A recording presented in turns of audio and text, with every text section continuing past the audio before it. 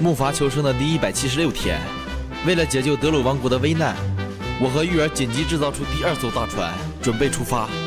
这是我和大炮第一次分开行动，心里还是感觉有点不太放心。辉哥，今天这大船从哪儿开始动工？目前来看，大船的底部已经基本完成，咱们需要根据实际需求搭建大家的卧室、会议室，还有瞭望台。哦，嗯。就按你说的做吧，反正我也不太明白。这个嘛，没事儿，毕竟你是第一次造船，跟着我来就好了。嗯，明白了。好，那咱们走。嗯，怎么了，玉儿姑娘？嘿嘿嘿。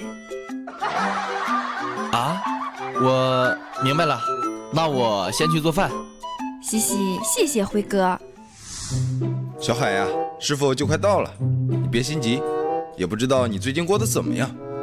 嗯，还有多远呢？哦，对了，不是还有雷达吗？怎么忘记用了？赶紧去看看。怎么还没电了？哎呀，真麻烦！再去拿一块电池。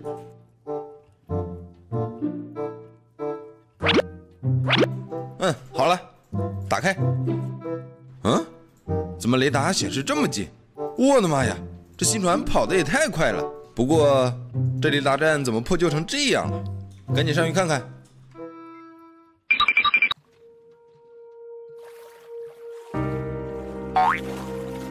小海，师傅我来了，你快出来呀！哎，人呢？怎么不理我？小海，你在哪儿呢？这感觉不对呀，我得赶紧看看。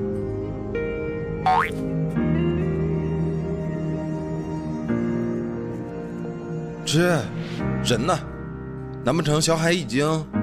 不，不会的，我瞎想什么呢？小海一定不会出事的。嗯，这还有个字条。大炮师傅，我是小海。您现在看到这封信的时候，我已经离开这座雷达站，前往了九五二七坐标的销魂酒馆。我到那儿等您。到时候咱们爷俩喝上两杯。这个臭小子居然跑去喝酒了。得了，我也赶紧过去。咱们先把二楼卧室的主体搭建出来，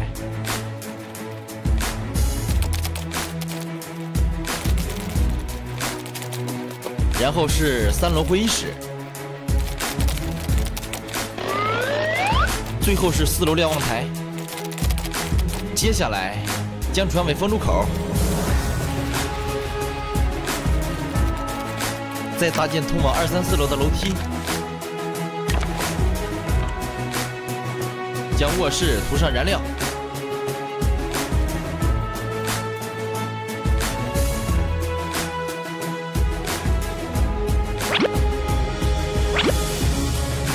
大船主体涂上燃料。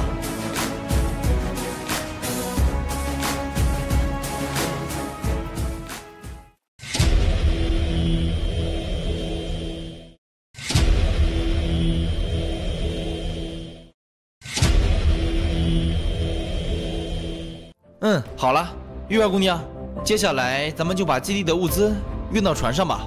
哇，咱们这么大的船，得装多少物资啊？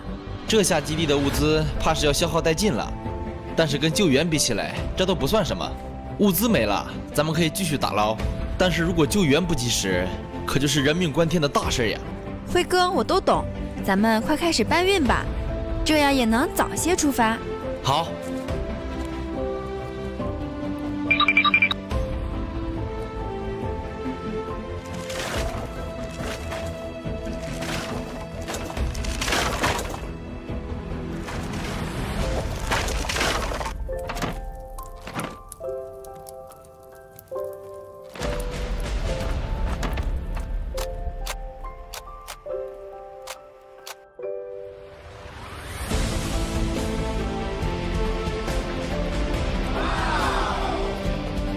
我现在正式任命你为救国物资管理员，这里以后就交给你了。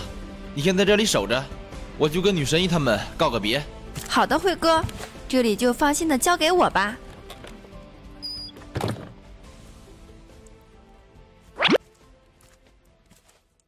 那个炮嫂，这次出去事出突然，等大炮回来的话，你一定要将事情的原委告诉他。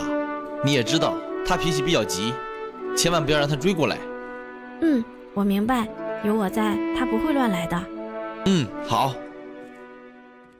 陈小英大哥，救护站的安全就交给你了。阿辉，你放心，有我在，救护站不会损伤一分一毫。好，那我走了。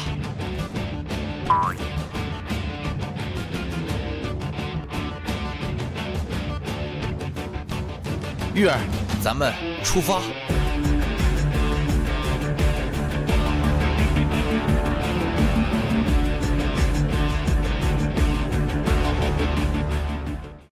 我的天，我以为小海那臭小子跟我开玩笑呢，没想到真的有销魂酒馆。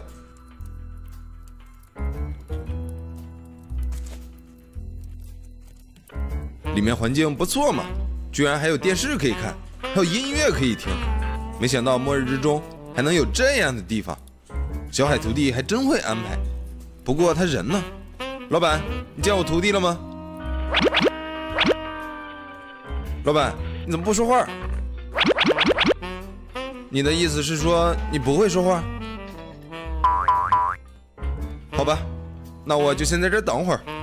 那个老板，给我来一杯你们这里的特色酒尝尝。